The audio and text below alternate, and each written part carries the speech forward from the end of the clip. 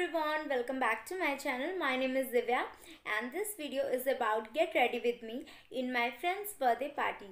So yeah, start करते हैं अपनी वीडियो सबसे पहले मैं यहाँ पर यूज़ कर रही हूँ एलोवेरा जेल को as a sunscreen and primer ये दोनों चीज़ों का वर्क करेगा हमारे फेस पर